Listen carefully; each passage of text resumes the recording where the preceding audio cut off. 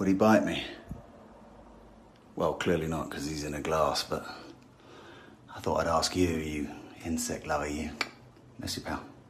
I'm gonna free him right now.